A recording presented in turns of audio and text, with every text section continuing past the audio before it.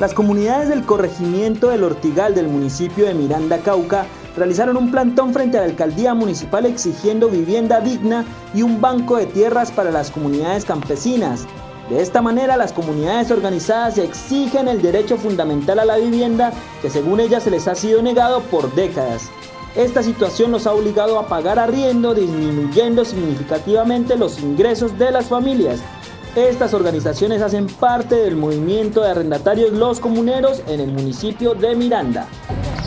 Comunicado a la, a la opinión pública. Hoy nos encontramos las comunidades organizadas exigiendo el derecho fundamental a la vivienda. Derecho que se nos... Derecho que se nos ha negado en el transcurso de la historia para la cual hemos estado condenados o condenadas a pagar arriendo, vivir hacinadas y arrimados.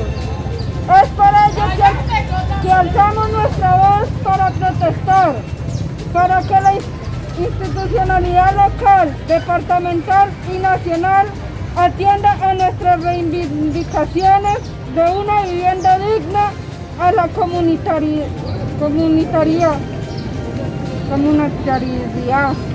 Somos gentes trabajadoras que vivimos en medio de grandes extensiones de caña, de azúcar, establecidas por los ingenios azucareros que sacan grandes ganancias económicas y a nuestros territorios solo quedan miserias y empobrecimiento.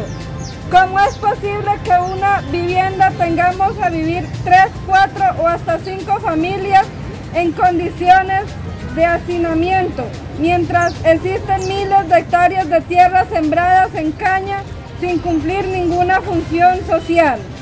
En calidad de familias que vivimos empobrecidas en este municipio, hoy nos presentamos en este acto político para exigir a las autoridades políticas institucionales de Miranda, en cabeza del señor alcalde, instale una mesa de negociación con la comunidad organizada y movilizada, con el propósito de estudiar salidas urgentes a la grave situación humanitaria por lo cual estamos hoy atravesando.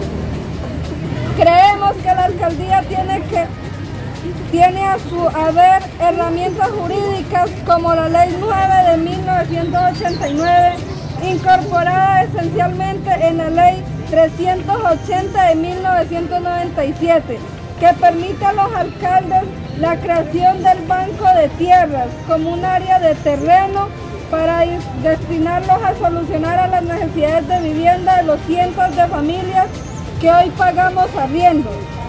Movimientos de arrendatarios los comuneros municipios de Miranda.